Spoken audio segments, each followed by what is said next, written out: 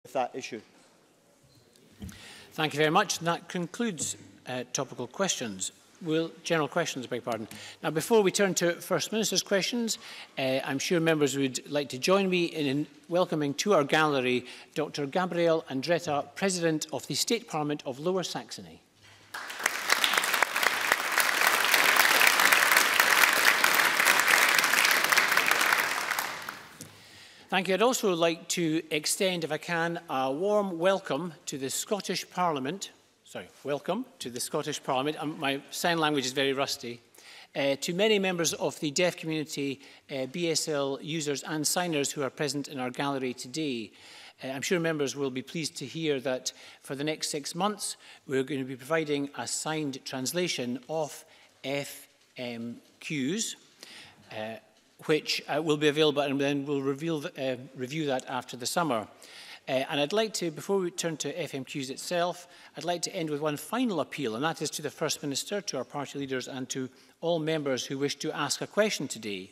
And that is, please, to keep your questions concise.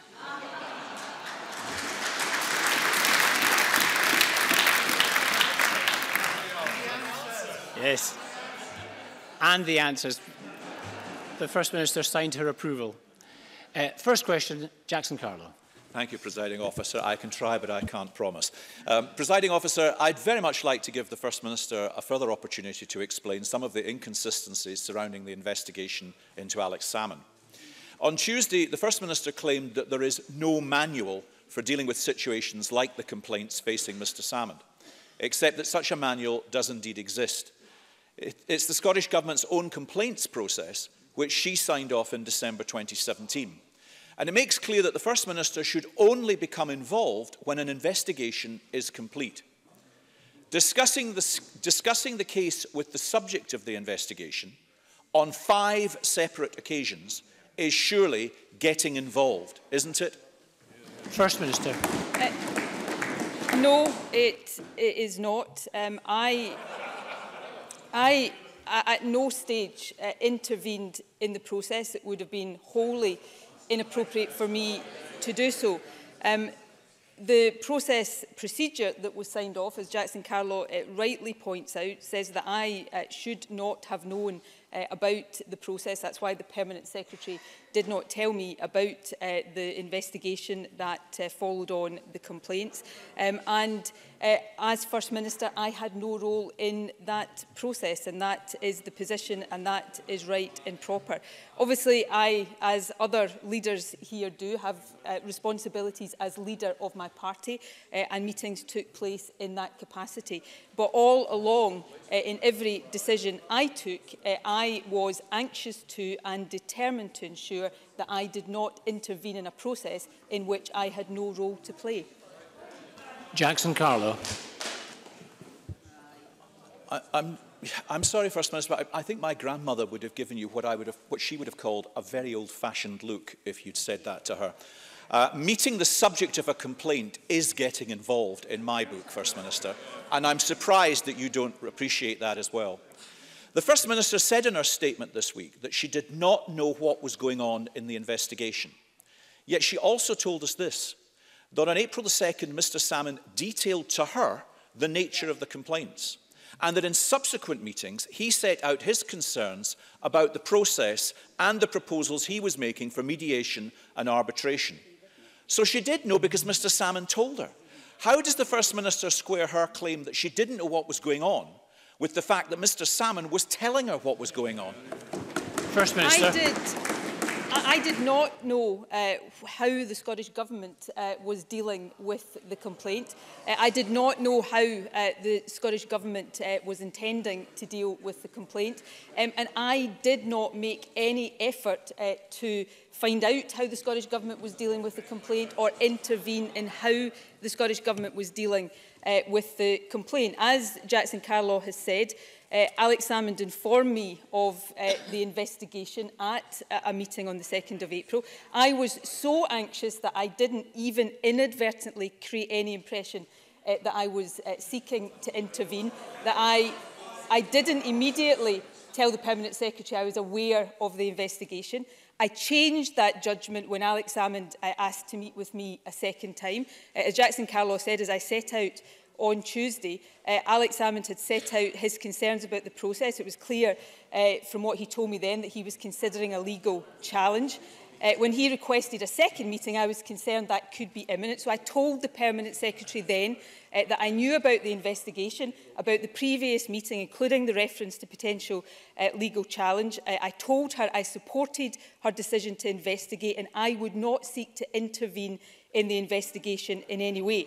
I also said I would make it clear to Alex Salmond again that I would not intervene, and that's what I did in the second meeting on the 7th of June, and I told the Permanent Secretary of all subsequent contact.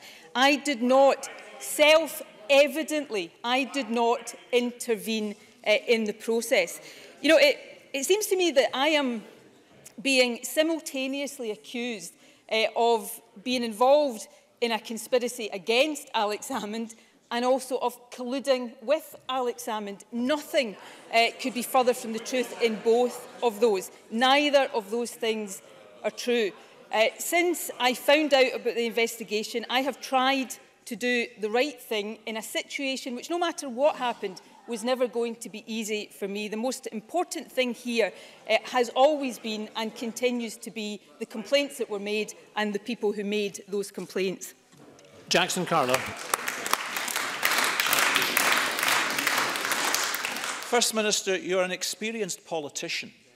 The obvious, the obvious commonsensical thing to have done after Alex Salmon advised you of the allegation on April the 2nd would have been to decline to meet him or speak with him on four separate occasions. Again on Tuesday, the First Minister said that the five conversations she had with Mr Salmon about this matter were not government meetings. In other words, her position appears to be that a meeting between the First Minister of the government and the former First Minister of the government about a government investigation involving two government employees was not government business. I mean, really? How? So just to be completely clear, will the First Minister confirm if she and the First Min former First Minister were the only two people at these meetings, or were other people present, and if so, who were they? First Minister. Uh, at the first meeting, uh, my Chief of Staff was uh, with me. Uh, Mr Salmond uh, was represented. Uh, of course, my Chief of Staff is a special advisor who also has the ability to assist me, to assist me in party matters. Uh, at the other meetings, at the other meetings, uh, no one else uh, was present. Look, I accept absolutely uh, uh, unreservedly the scrutiny that comes uh, on me. I didn't choose to be uh, in the situation uh, that we are in. Um, and I all Let's along... Let's hear the answers, please. All along uh, have been absolutely clear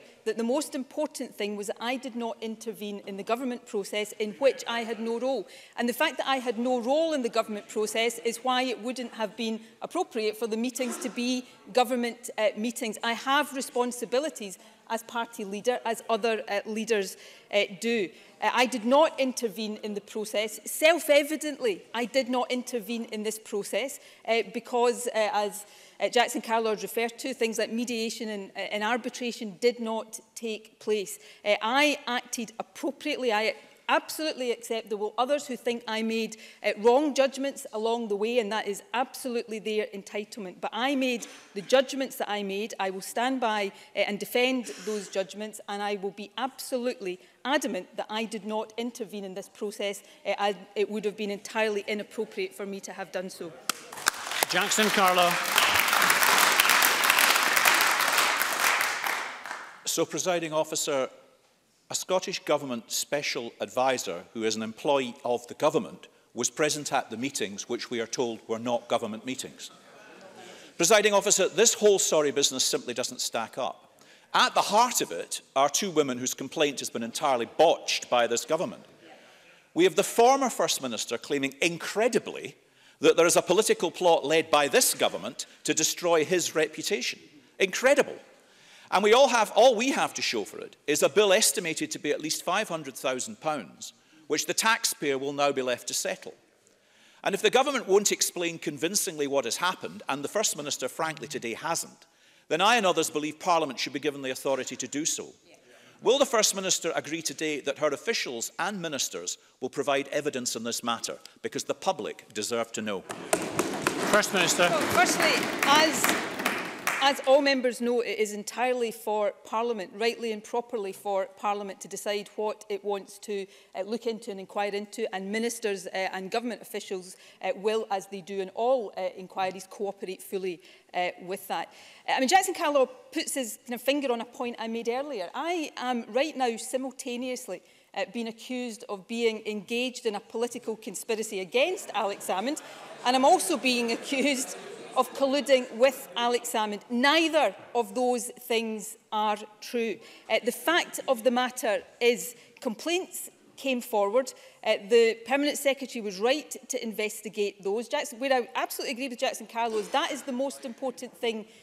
here. Uh, that people brought forward complaints and it is right that those complaints are investigated.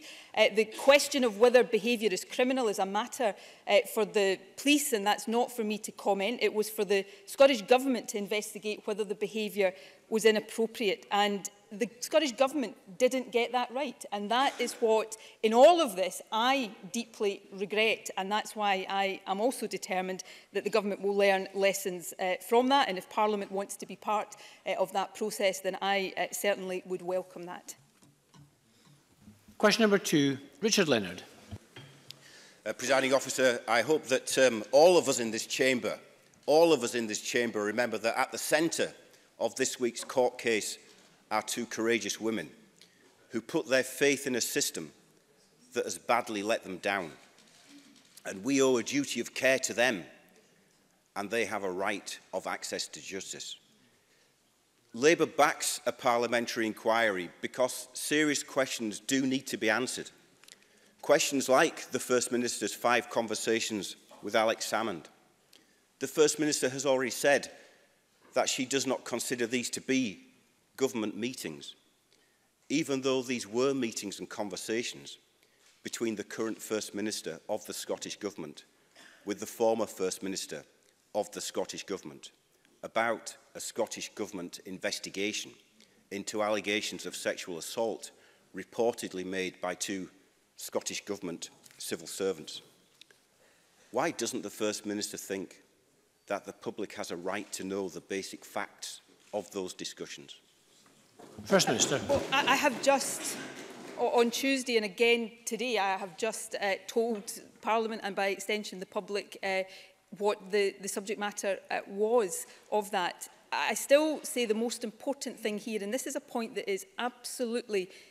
self-evident that I did not intervene in this process in any uh, way.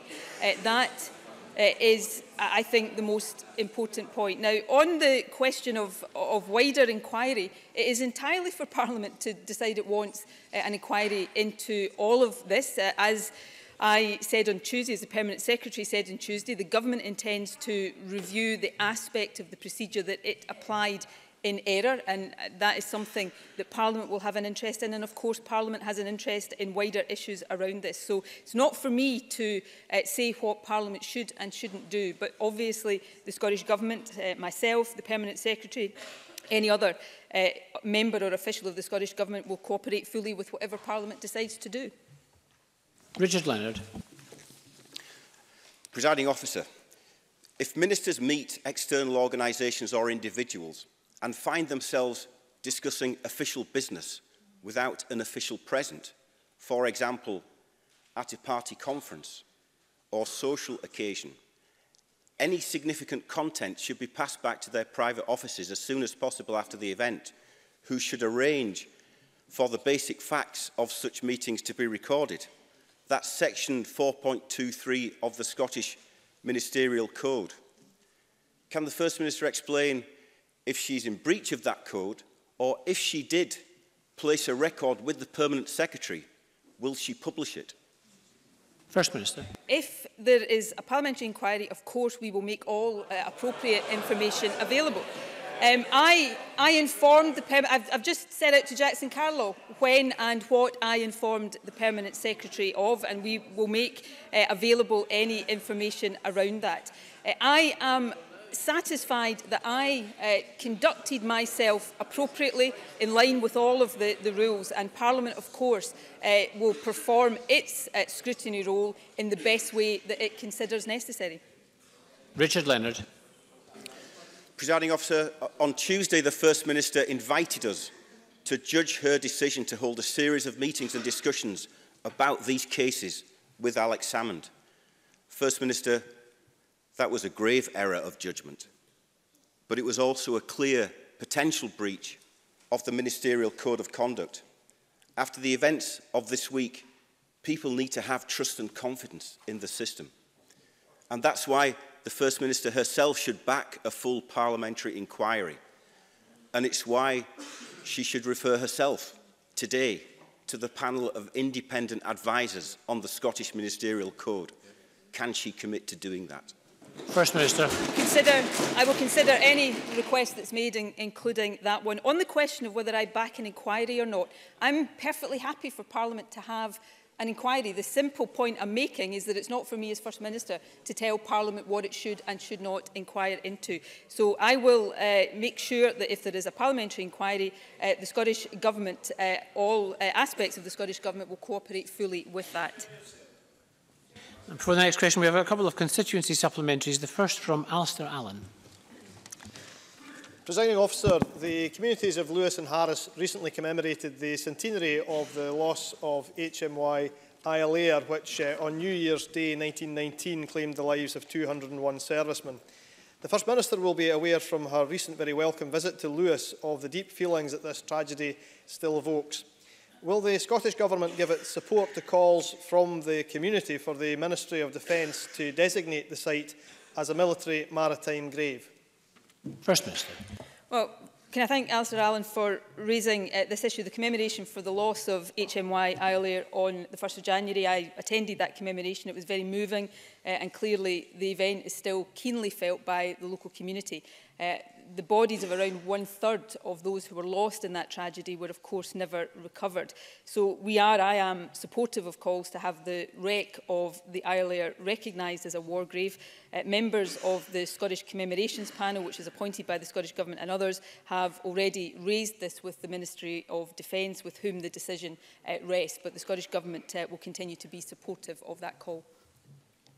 James Kelly. Thank you, Presiding Officer. Uh, it was reported last week that patients at the Queen Elizabeth University Hospital in Glasgow uh, were unable to wash because of a lack of fresh linen.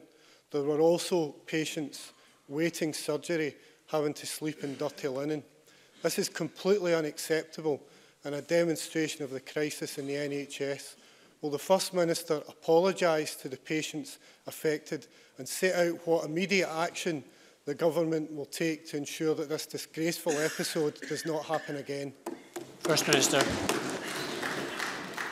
Well, I understand uh, from Glasgow Health Board that laundry supplies uh, were affected by a particularly busy period over the new year, but I understand the board has uh, apologised already. I would certainly echo that and given assurances that the issue has been resolved. I understand uh, that the issue was uh, quickly resolved, but these uh, issues, of course, shouldn't happen, and I would expect the board to uh, learn and apply any lessons from it.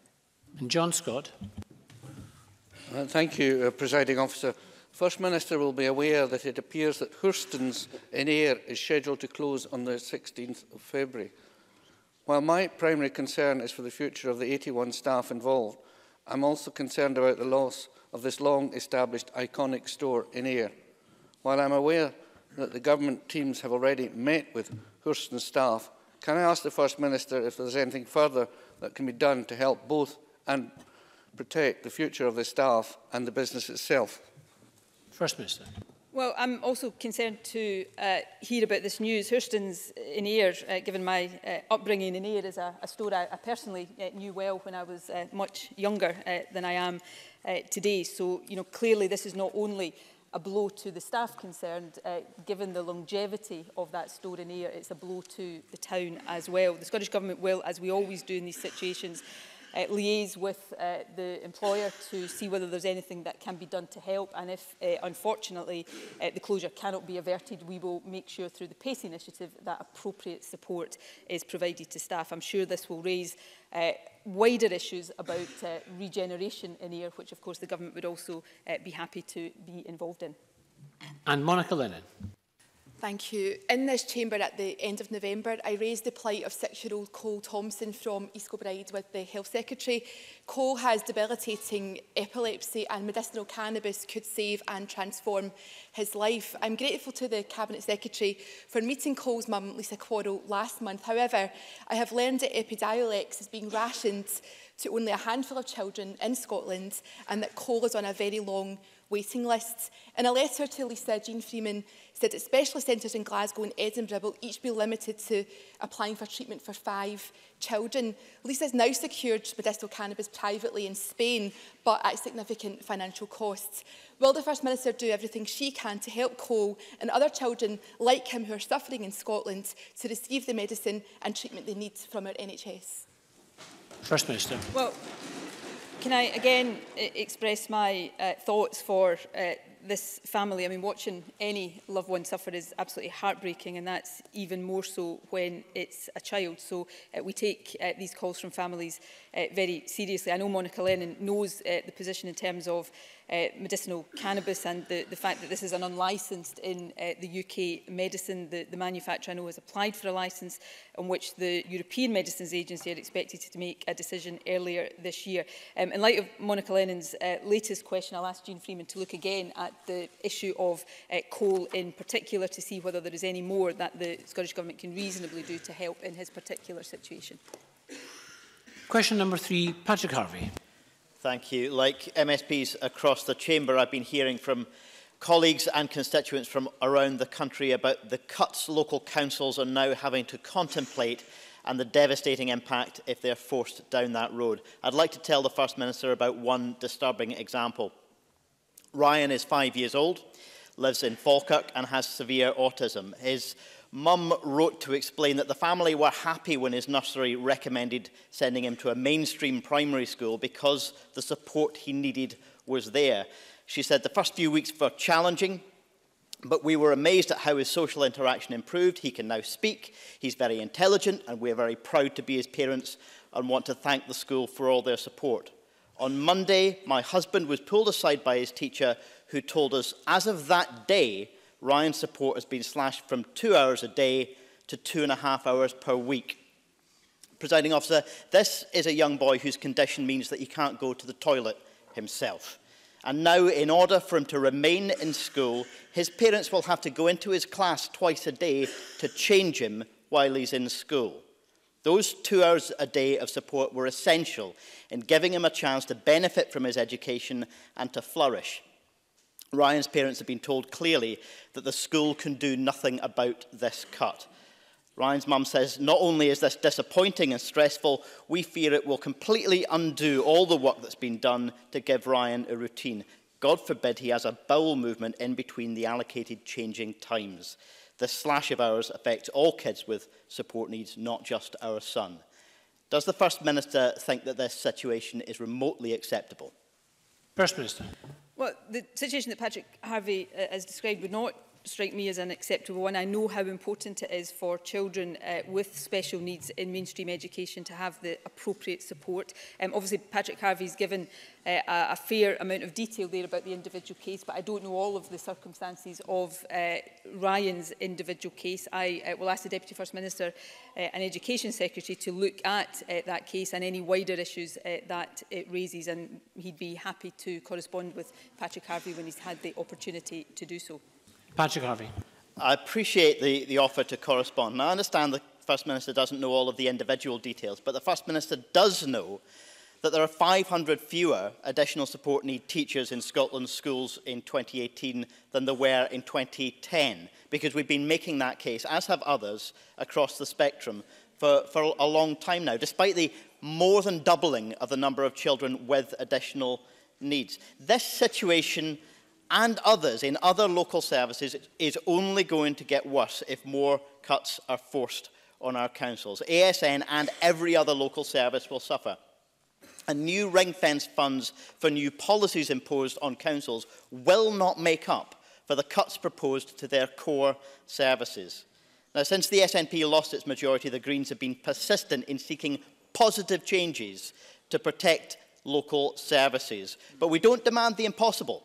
In fact, the government admits there's an extra £500 million in the coming year's budget because of the fairer tax plans we persuaded them to adopt last year.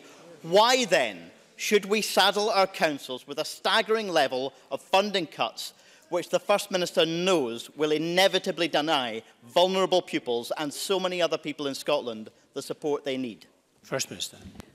before I come on to the budget point, let me just uh, return to the ESN point because it's an important issue. I mean, I had an exchange, I think, with Richard Leonard in the Chamber on this point a few weeks ago in terms of the overall numbers of staff in school uh, working with children uh, with ASN uh, has increased. Obviously, uh, teacher numbers generally uh, have increased in the last uh, couple of years, but I don't underestimate the pressures uh, that uh, are there when dealing with children with special needs of uh, this nature. Um, on the, the budget point, um, I'll say what I've said to Patrick Harvey and to others before. We've put forward a draft budget. Patrick Harvey is right that there is uh, resource available in that draft budget because of the tax decisions the government has taken. But we've allocated that resource, we've allocated that resource uh, to the National Health Service, to local authorities, for example, for the uh, rollout of the, the doubling of childcare. Now, the simple point I will make to Patrick Harvey and to others is if you want us to change the, the judgments about allocations we've made in order to put more money into one area of the budget, then there also has to be a discussion about which area of the budget that money should come from. That part of the discussion cannot be allocated because what is not in the budget is £500 million pounds of unallocated resource. Every penny uh, that we have available to us has been allocated. So I, obviously we want to have budget discussions, uh, we're prepared to have those budget discussions across, from parties across the chamber, but that has to be a discussion rooted in reality. Uh, we can't create money from nowhere. If more money is to go to one area of our budget, then we have to be honest about where we're taking that money from. Question number four, Willie Rennie. The Deputy First Minister, John Swinney, has repeatedly claimed there are many people who emphatically support his primary one national test. We asked the government who these many people were. It turns out there were just two of them. One was Professor Dylan William, an education advisor to Education Scotland. But he said John Swinney's claim that he emphatically argued for the government's test was a substantial and perverse misrepresentation of his work, and that the person who made this claim was too stupid to be doing that job or deliberately misleading. Can the First Minister tell us, was John Swinney deliberately misleading or is he too stupid to do that job? Uh, well, yes, I, let, let me address the, First Minister. the substance of, of the issue. The Scottish Government referenced Professor uh, Williams' work because we, we interpreted his research as being supportive of a formative approach to assessment. If that's not the case, we are happy to recognise that. It was not our intention to imply that he supported the specifics of the Scottish National Standardised Assessments. But it is the Scottish Government's view that in line with best practice internationally, the assessments provide formative diagnostic information to teachers on aspects of literacy and numeracy, and that that information is then important in allowing teachers to ensure that uh, their judgments uh, are allowing the right support to get to uh, pupils in the right way. And all of that is crucial to our objective of raising attainment and closing the attainment gap. And before the second question, Mr. Rennie, before the second question, the first question was on the borderline of what's acceptable. And so just be careful about insulting other members of the Parliament, Mr. Rennie. Officer, these were the professor's words. Yes. But Mr. Rennie turned it. Mr. Rennie. Mr. Rennie quoted they... the Mr. Rennie quoted the professor and then tried to turn it into a stroke, a clever question, but or almost an insult, and I will not accept other members being insulted in this chamber. So just be careful about how you word your next question. Mr. Rennie. the First Minister is absolutely wrong. We asked John Swinney's office for the names of the academics who support P1 tests. The professor's name was supplied. The professor is now owed an apology. And so is Professor W. James Popham, the second name on the list. He said the claim, whether made from ignorance or malevolence, is flat out incorrect. She must apologise for insulting this global expert as well. Teachers are against the test. The EIS opposed the test. Councils are ditching the test. Parliament voted against the test. And now the ministers preferred experts think his tests are useless. Ignorant, useless, malevolent, stupid, misleading. Will the First Minister finally dump these tests? First Minister. Well, in terms of the, the professors, uh, their work was uh, cited as we believed it was uh, evidence of support for formative assessments. If we got that wrong, then of course we apologise to uh, the professors for that. We did not say they specifically supported uh, the Scottish National Standardised Assessments. Um, I believe the assessments are important. It's uh, important uh, to have It's something that allows teachers to moderate their own judgments. Teacher judgment remains uh, the definitive uh, assessment uh, tool in our schools. Uh, I think it is important that we are able to know which pupils are doing well, which pupils need stretch, which pupils uh, need extra help. On the, uh, finally, on the issue of councils withdrawing from uh, assessments, uh, that's actually not the case because councils uh, who are withdrawing from the standardised assessments uh, that we have put in place are going back to old assessments. And in some cases, uh, in the case of Fife, for example, uh, they are going back to doing uh, two assessments uh, a year instead of one assessment. And they're using a system of assessment that is not aligned to curriculum for excellence. So, you know, I do think it's important to be, uh, you know, clear about that. So we will continue uh, to support an approach in our schools that allows us to get the right support to pupils and help close the attainment gap. We have some further supplementaries. The first from Shona Robertson. On Monday, the First Minister announced £10 million for the Tayside Industrial Strategy, which is of course welcome, but can the First Minister reconfirm and reiterate the previous Scottish Government commitment made that Michelin and my constituency will receive resources beyond those already allocated in the Tay Cities deal in order to repurpose the site and create a true economic legacy for the Michelin workforce. And will she also undertake to further press the UK Government into stepping up to the plate to also help fund a Michelin legacy, given that they've already shortchanged the Tay City Steel by £50 million? Pounds. First Minister. Well, can I thank Shona Robinson for the question? Um, the Scottish Government's been clear all along that we were prepared to invest £200 million into the Tay Cities region and we've delivered on that promise. I remain, like Shona Robinson, disappointed that the UK government has chosen not to match that scale of ambition and I hope even now that it changes its mind. Uh, the 10 million uh, I, uh, the 50 million I announced uh, on Monday uh, will include 10 million for the needs of manufacturing uh, businesses across the region and I'm sure that future uh, options for the Michelin plant in Dundee will be a key focus of the discussions with regional partners as they work with us to shape the industrial investment programme. Uh, however, we're absolutely clear that we will provide uh, also additional support to deliver on the MOU signed with Michelin uh, in December. And as a member of the Michelin Action Group, I would hope and expect the UK Government to do likewise. Jenny Mara. I am disappointed, First Minister, that this week you had £50 million to allocate to our region and following the closure of Michelin, you only managed to find £10 million for any industrial uh, development in Dundee. I would have expected, and many people in Dundee would have expected that full share of the £50 million to come to our city. But as a result of her budget, jobs are under threat in Dundee. Compulsory redundancies have been mooted by SNP councillors in Dundee. Now, we all know that the First Minister has a policy of no compulsory redundancies. Will she confirm this policy today and guarantee that there will be no compulsory redundancies in Dundee City Council while she is First Minister? First Minister. Well, of course, as I'm uh, frequently reminded by members across this chamber, uh, councils are autonomous and they take their own decisions. The Scottish Government's no compulsory redundancy policy uh, remains in place. I don't think, if memory serves me correctly, there was any such policy while Labour were last in administration in the Scottish Government.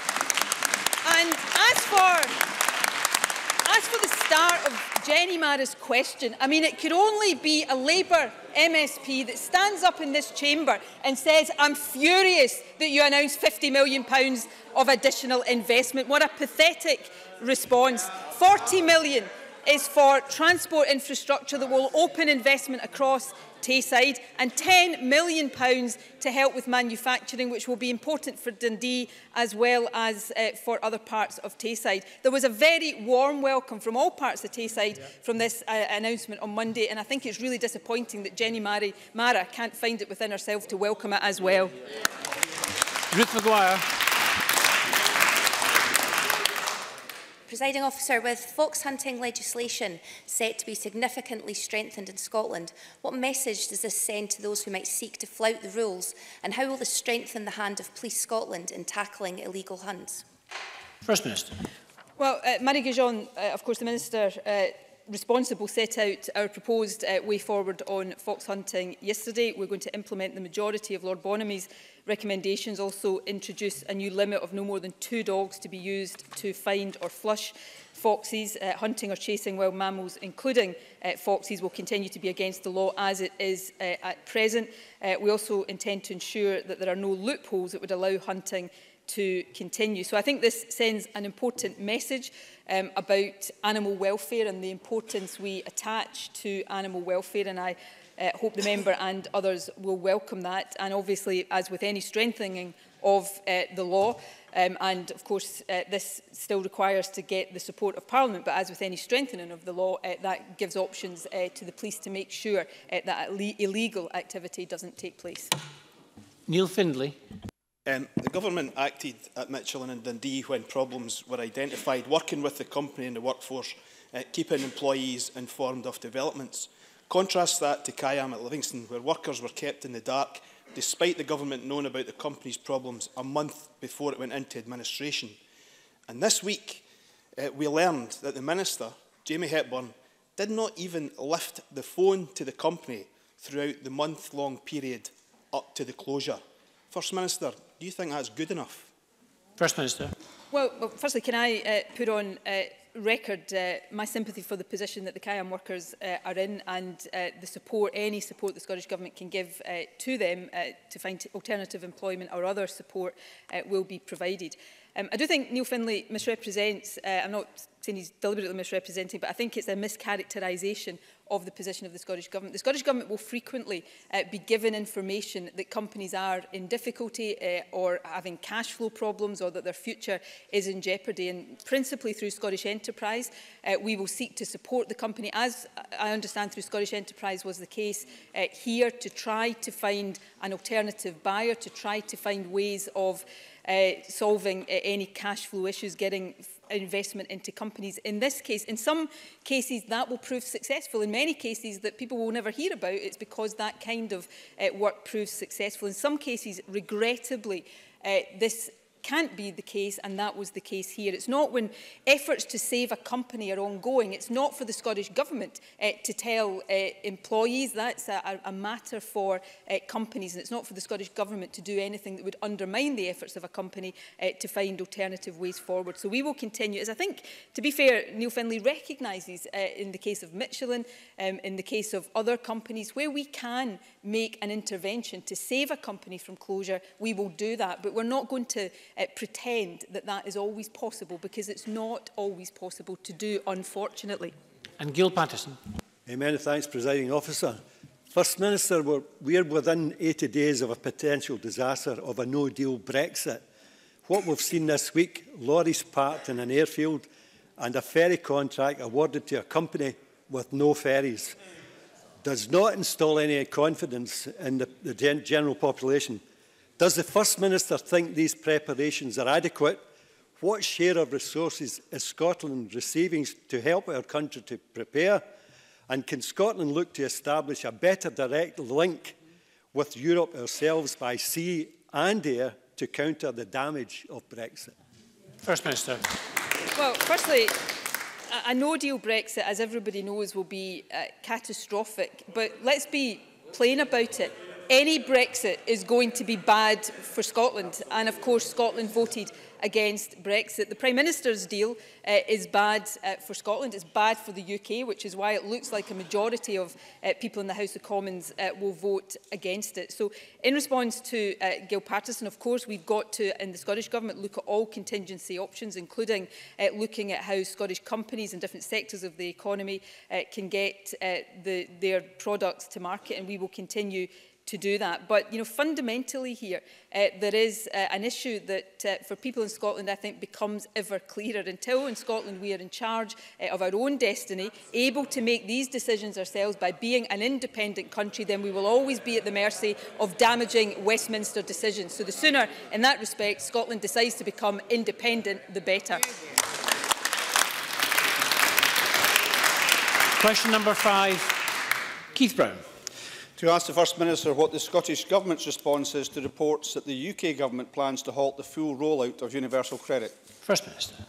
Well, the uh, Amber Rudd's uh, announcement of uh, a pilot for managed migration, of course, doesn't change the reality of those already suffering uh, under universal credit uh, because previous calls to halt the rollout were completely ignored, uh, nor will that announcement uh, stop an estimated 1.6 million people across the UK naturally uh, migrating to universal credit due to changed circumstances ahead of uh, full migration uh, from 2020. So I take the view, as I have done previously, I still take the view that there should be a complete halt to universal credit in order uh, that fundamental changes are made because people are suffering, people are being driven into poverty and debt because of universal credit and it is completely and utterly unacceptable.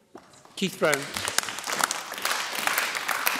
can I thank the First Minister for her response and advise that my constituency of Club Manager and Dunblane was unfortunate enough to be at the vanguard of universal credit, which for Scotland, in many respects, is reminiscent of Thatcher's poll tax. Despite the hardship and damage that it's caused and continues to cause to many of my constituents, and despite the fact that Conservative members in this chamber have ignored, denied and downplayed its effects, I am hugely disappointed that the UK Government planned to proceed with their managed migration without any changes to the current deeply flawed system which has already forced many thousands into poverty. Does the First Minister agree that the UK Government must listen to the calls of so many people, including the UN, to fix this failing policy? And will her Government raise this with the Working Pension Secretary? And does she agree that the full powers of the welfare system should be devolved to Scotland? First Minister. Yes, I agree wholeheartedly with that. Uh, Keith Brown uh, talked about universal credit being reminiscent of Thatcher's poll tax. I think, I hope I'm not uh, misquoting him here, but I think John Major, you know, former Tory Prime Minister, has also described universal credit as being uh,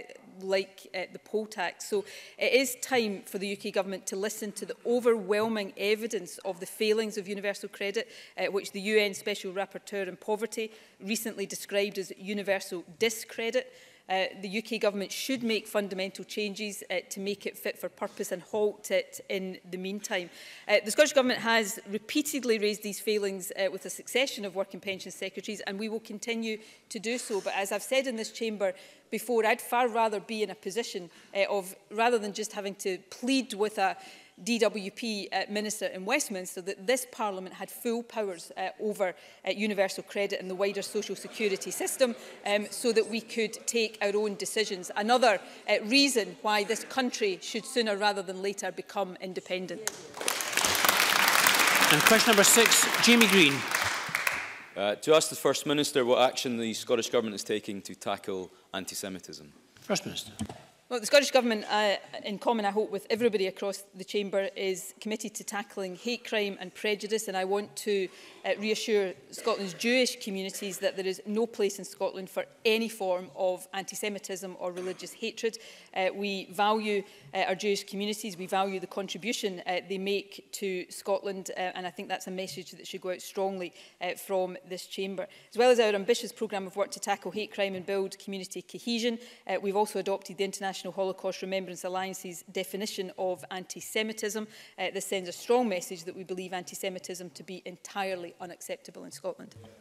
Jamie Green.